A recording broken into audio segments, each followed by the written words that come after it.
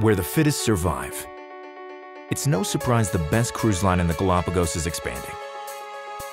Now with three stunning ships and six unique itineraries featuring new ports of call, we offer more comprehensive, all-inclusive vacations than ever.